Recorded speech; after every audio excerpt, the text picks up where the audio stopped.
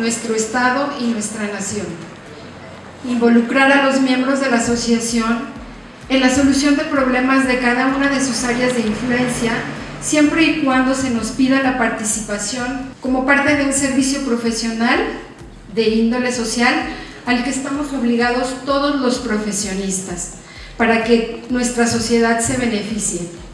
Colaborar con las autoridades en los diferentes órdenes y consecuentemente en modelos de intervención social para su inclusión en las políticas públicas. Las metas a corto plazo de este comité serán integrar dentro de la asociación aquellos colegios que aún no pertenecen a ella y hacer un llamado a todos aquellos que por alguna circunstancia se alejaron de nosotros cuando esto apenas era un proyecto. Posicionar como una asociación de compromiso y seriedad de alto nivel, ya sea local o nacional.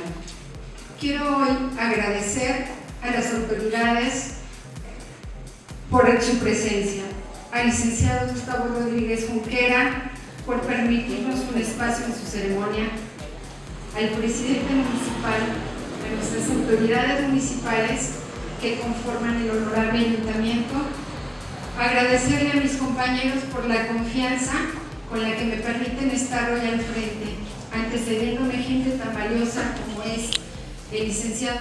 Con esta propuesta, a las autoridades que han aceptado y reconocido a este grupo de colegios constituidos legalmente, al licenciado Gustavo Rodríguez Junquera, Procurador de los Derechos Humanos, por su apoyo incondicional y por creer en este proyecto. A mi familia y en especial a mi esposa, por su apoyo, por el tiempo que les robé para esta noble causa. Gracias, muchas gracias a todos.